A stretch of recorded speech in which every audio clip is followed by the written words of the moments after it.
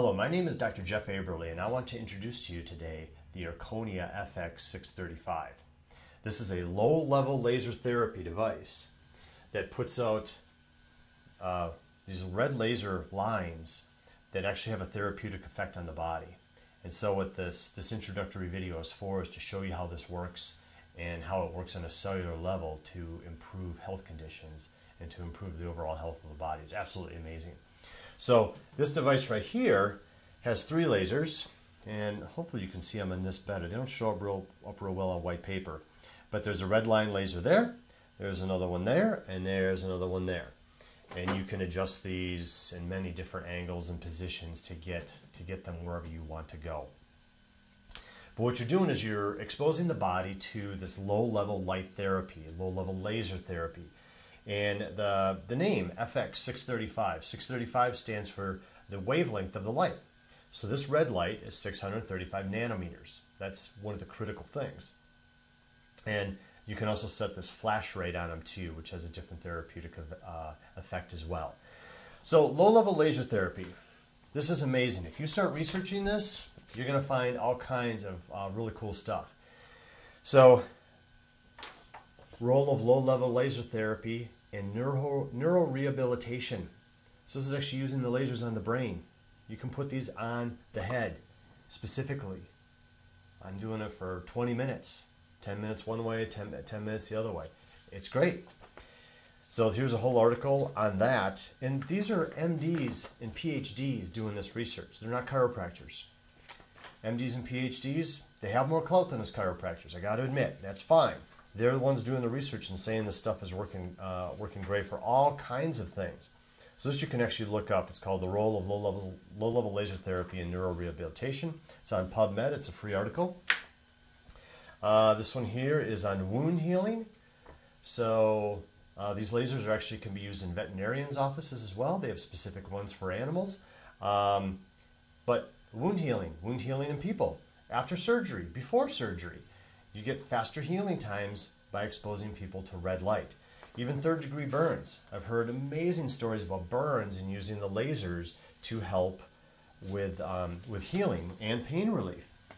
Here's another one, photobiomodulation. That's another terminology, another word you can use. Photobiomodulation. So using light, photo, for biological um, um, enhancement. So this is uh, photobiomodulation in human muscle tissue, an advantage in sports performance. That's the exact name. Again, the abstract is on, uh, actually the full article is on uh, PubMed. So this is like a 44-page article. I didn't print out the whole thing. Um, and they're actually talking about laser doping. so, because it's a, such an advantage. This is on low-level laser therapy in Russia. This is a great article because in Russia they have been using low level lasers since 1974 as a standard of care. Standard of care, you got to understand, in America here, what are standards of care? Well, you go in, you get antibiotics, that's a common standard of care, right?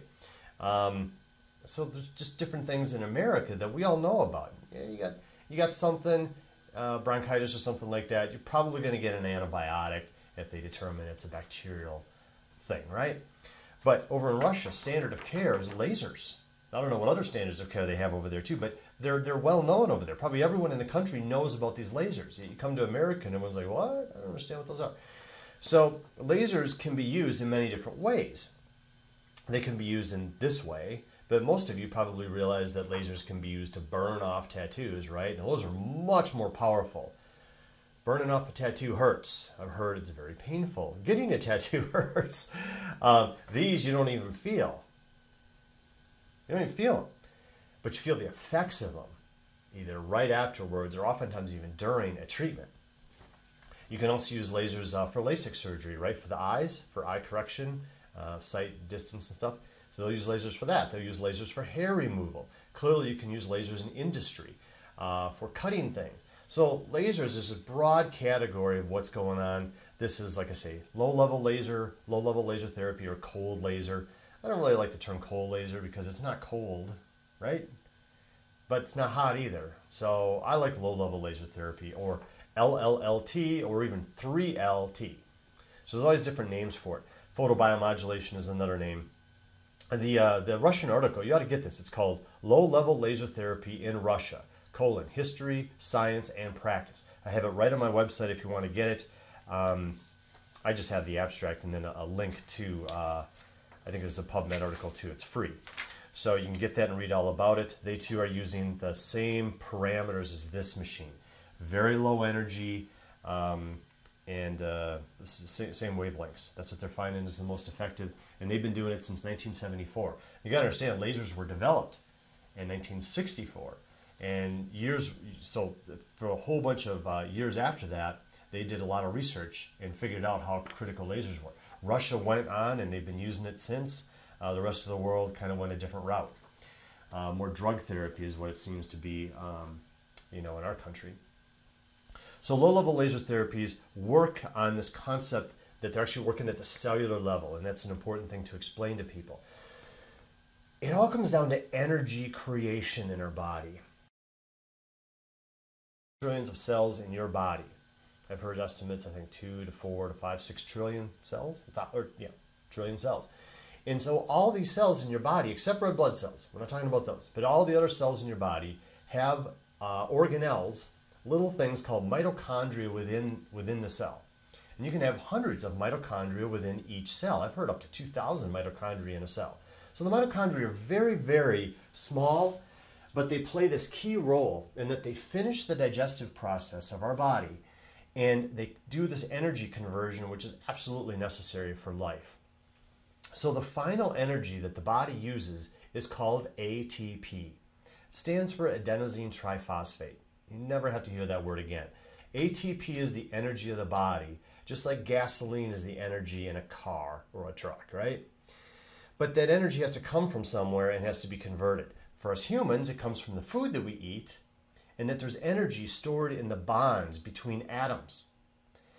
But we can't use that. Luckily, we chew the food, we eat it, it goes down, gets digested, broken down more into smaller and smaller pieces, and eventually gets inside our cells, still not usable by the body, but the mitochondria can use them, can use that, and then convert it into ATP, which is what we want. Now, if you've heard of mitochondria before, it's probably from grade school or high school, or if you went into some type of biology in, in, in college of some kind, some kind. But the mitochondria, what they teach you in grade school and high school is they're the powerhouse of the cell.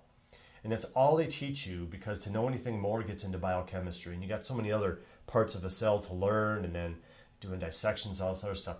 They don't go into any more detail.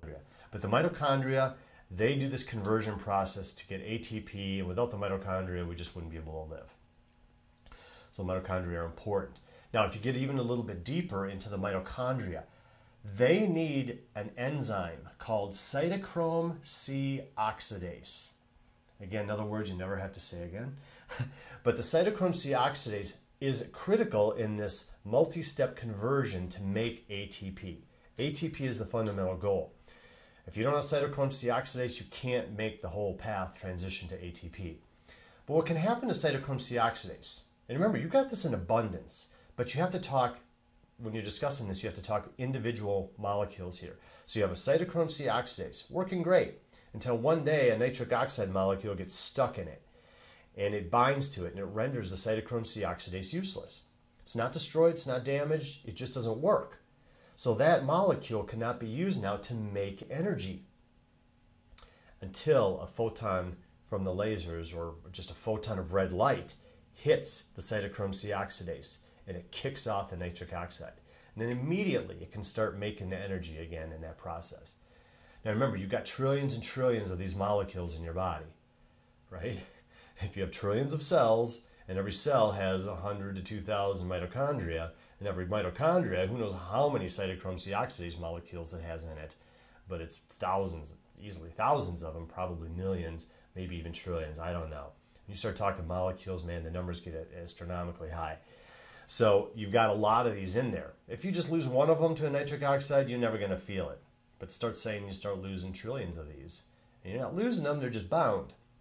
But now you do laser, the low-level laser therapy, and you unbind all those, and immediately your body can start making a lot more energy in those cells wherever the light was exposed to free up the cytochrome C oxidase. I know it seems a little confusing, but it all comes down to energy production. And tight muscles can often be from low energy production. The other really cool thing is even after the lasers are removed, the effects are still there. Because all the light did was knock off the nitric oxide. And now that molecule is free to do what it needs to do. So you don't so the, ther- the therapy lasts. Otherwise you'd have to have lasers on you 24/7 and who wants to do that, right?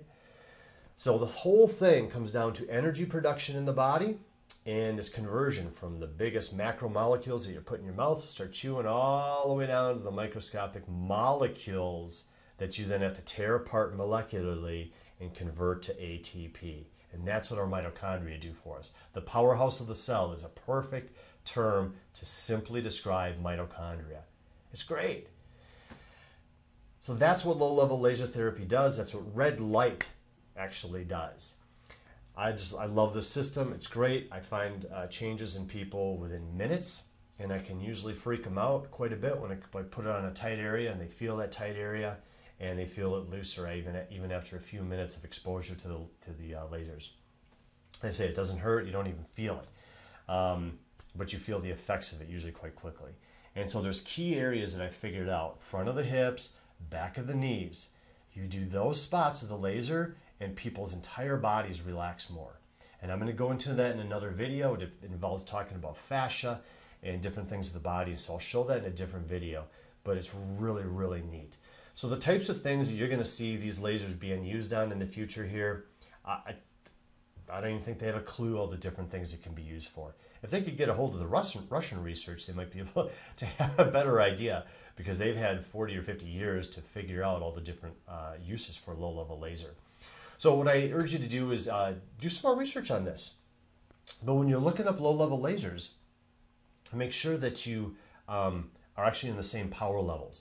So the um, terminology out there is very confusing. Um, and so what, what some people will call a low-level laser is actually a one watt laser. I'm like, well, that's not low-level laser at all. One watt compared to 0.0175, it's a big difference. So when you start getting up into these higher power levels, it's not as good of results.